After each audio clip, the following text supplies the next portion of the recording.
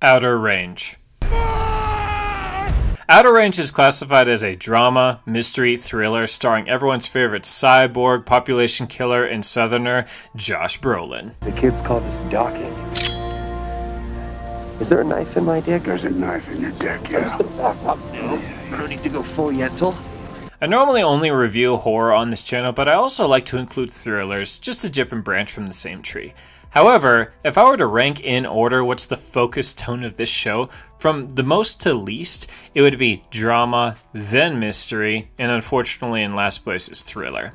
I'll still review the whole thing and try to be as fair as possible, but I'll make it a shorter review because this show just really isn't up my alley when it comes to entertainment.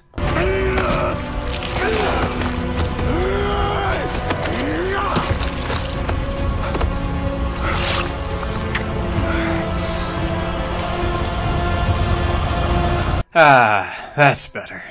But let's get into the show with minimal spoilers. In episode 1, a lot happens, and it may be one of the best episodes in the whole season. We get introduced to the whole family the Grandpa Royal, played by Josh Brolin, Grandma Cecilia, played by one of our favorite Conjuring stars, Lili Taylor, older son Perry and his daughter Amy, who looks like Dakota Fanning, and younger son and bull rider Rhett. They are the Abbott family, who have a long history of cattle ranching. They have some dick rich neighbors called the Tillersons who are pushing to expand their land into the Abbott family's territory. Most of the drama in this show revolves around these two families. Rhett's high school crush coming back into his life, and the local sheriff trying to solve some crimes and make sense of the mystery part of the show. The mystery part of the show focuses on Autumn, the hippie that camps in the Abbott property who seems to know a lot more than she lets on, played by Imogen Poots from nobody's favorite Black Christmas movie. Just because we're taking our rightful place behind them doesn't mean that we aren't needed. The massive hole on the Abbott's property, the unknown mineral attached to it, a murder that is the core drive of most of the actors for most of the season, and Perry's wife who has been missing for a hot minute. The thriller part of the show. Um, I agreed, and ambition makes several people do quite drastic things that I guess would be considered thrilling. Going into the positives and negatives, Royal and Cecilia are great, which is not surprising considering they are good seasoned actors. Rhett's relationship with his high school crush is sweet, and it kind of reminds you of Colt and Abby's relationship from the ranch, just not as funny. Oh, guess that makes you the hypochondriac. Hypocrite. It's hypocrite. Okay, I can make up words too. The Tillersons are all played well, but one of the sons, Billy, has a lot of humorous moments and is a big singer, but I couldn't really tell if he was a good singer or if he sucked. Just call me angel of the morning, angel. Please, can you quit it? Autumn's character starts off as mysterious and interesting, but when shit flips on her, she turns into a psycho bitch, and I really thought they should have kept her as an ominous kind of character.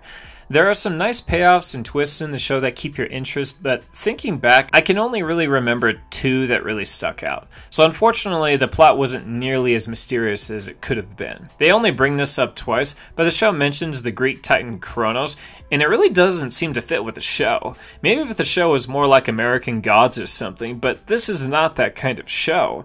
Unless it's going to be a big part of the theme or the plot, keep ancient mythology out of it. Overall, I'd say this is an alright show, 7 out of 10. If you like family dramas with a bit more mystery or intrigue in it, this show is right up your alley. Now I'm going into spoilers, and I'll be brief as well with this. So, Royal is supposed to be from the 1800s and then pops up in the late 1960s. I know he's a rancher and doesn't do a whole lot of government work, but even so, just existing as an adult in the US requires a lot of paperwork.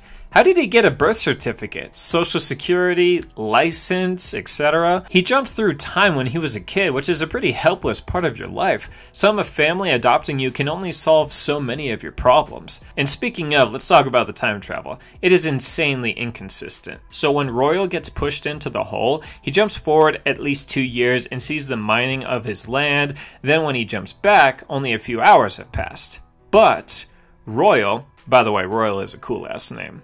Royal says he jumped into the hole when he was a kid and he crawled out and a hundred years passed. So why was it such a different time jump? When he touches the liquid time material, he has visions of a near future, but he fully jumped in as a kid and as an adult, and the results are drastically different.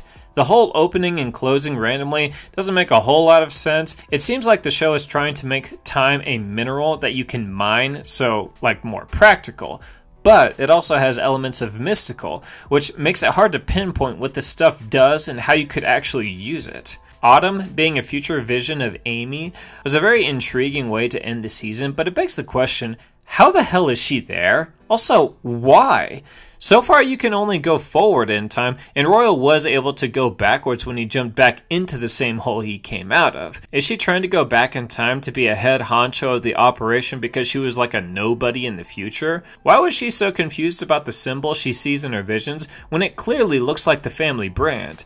It also doesn't explain why she is fucking with her family so much. She literally tried to gun down her grandpa with her own hands. She even had this weird singing Tillerson almost kill him. She was also fucking with and manipulating her dad to turn on the rest of the family. Hopefully, season 2 will break down how this young girl turned into a manipulative, narcissistic, self family killer, or it's just a dumb misdirect for cheap shock points. But hey, crazier things have happened. It also begs the question about being able to manipulate time in advance.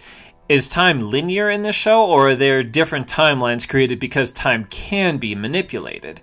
These are the kinds of questions that have to be answered if you input time travel in your story. There's nothing wrong with mystery, but things have to make sense on some level. Thanks for watching, and don't worry, next time I will keep it spooky.